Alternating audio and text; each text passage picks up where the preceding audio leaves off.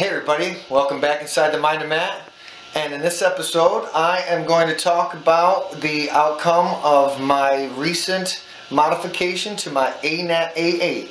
If you didn't get to see that, it was a live stream, but it's right up here for you to take a peek at. So, but anyways, it is now um, quarter after seven in the morning, the following day from that um, upgrade.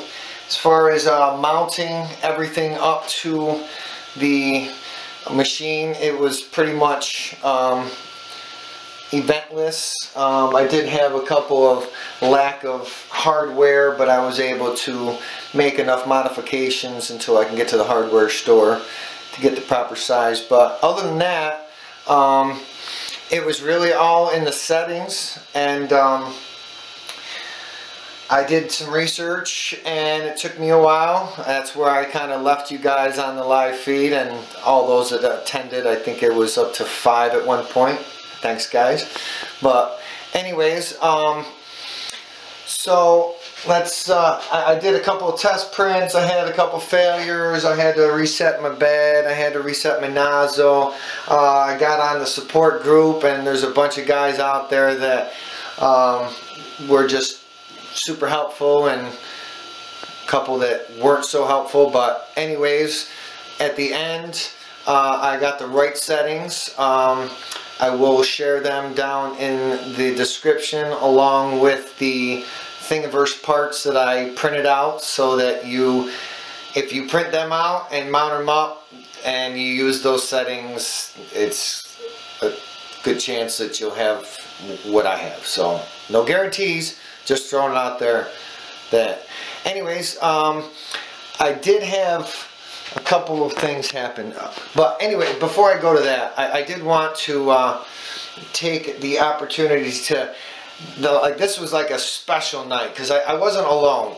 All right, I was alone, but I, I wasn't alone, and I'll explain that in a second. But um, when I put out the, the post on Facebook um, to the support group, like one individual in particular who's kind of like been there since the beginning of Inside the Mind of Matt, I think, um, th that he just kind of like reached out and said, uh, can you take a video conference? And I couldn't right away. It was a little couple clicks of the mouse and I installed a new program and boom. I've had a special guest, which uh, this is James.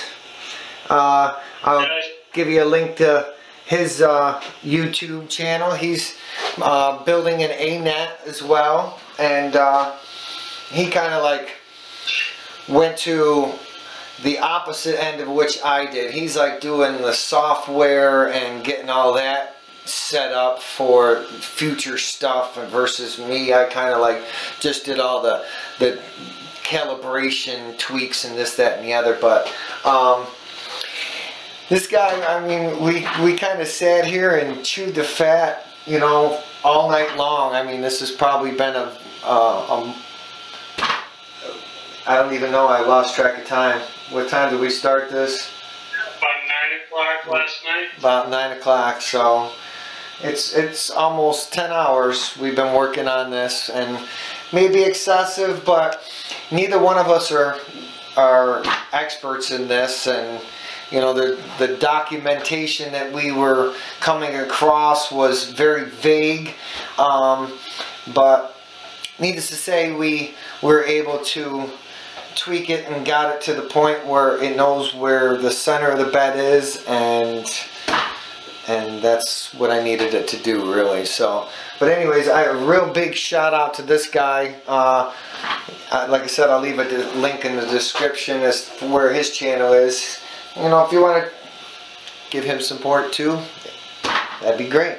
But anyways, thanks James. You're more than welcome. Just hang out while I finish, you know, showing everybody. So, a couple of the things that, you know, as you see, this is the, the new extruder hot end set to the right. Got my Bowden attachment. And this is where I had, didn't have long enough screws and then I had two longer screws so I had to use like four nuts to space it off, but this part in here is where it was giving me a problem. And this is what I did. I drilled out that hole too much, which is built to stop this from going in. And it was like rocking back and forth inside of this little coupler.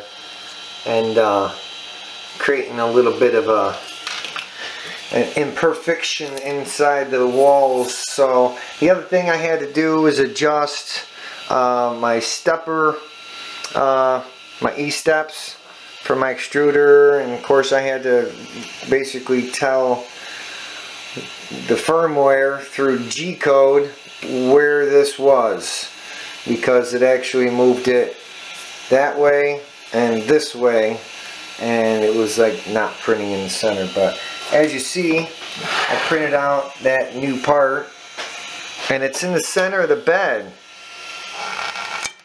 Bed adhesion good. But the biggest thing I want you to see is that oh man I, I hope this camera shows.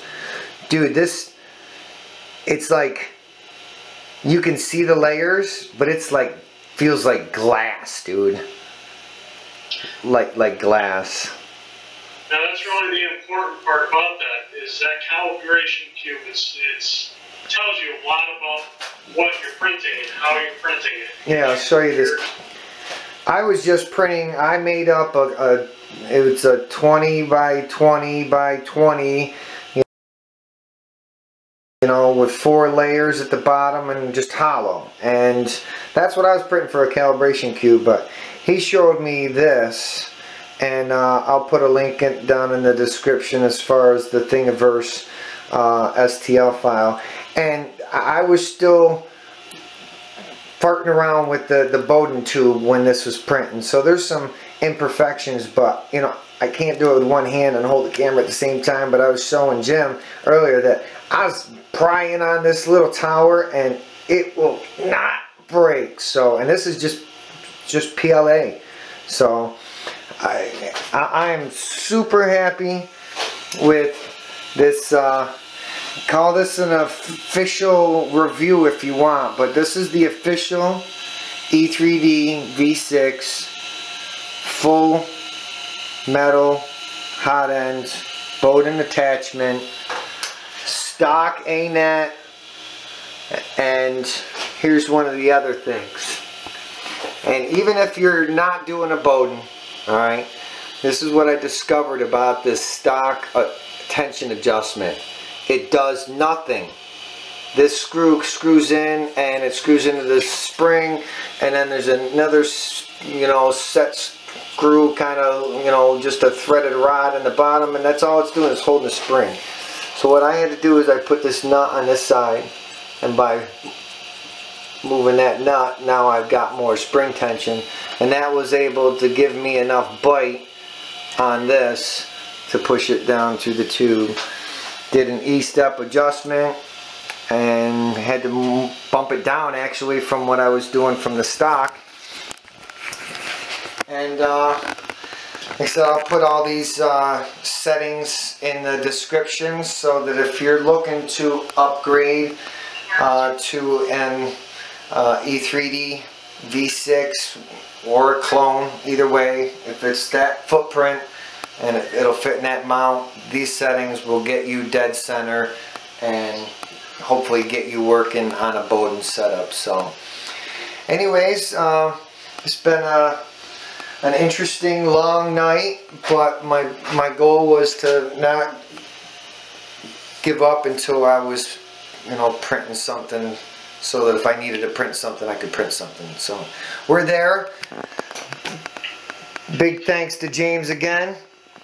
Um, and uh, don't forget if you like this video, then hit that like button and subscribe and share it on your social media and get the word out because 3D printing is going to be taking over and uh, we're, the guys that are, you know, at the entry level, just tweaking and playing with stuff and, and trying to figure stuff out on, on our own with a little bit of references that are out there. So, you know, you guys can get out there and you can share your experiences as well. You know, we don't have to be the only ones. So, I'm just a guy next to his garage uh, with a bunch of stuff in it, with a head full of ideas and a 3D printer. So keep coming back, everybody. Have a great night.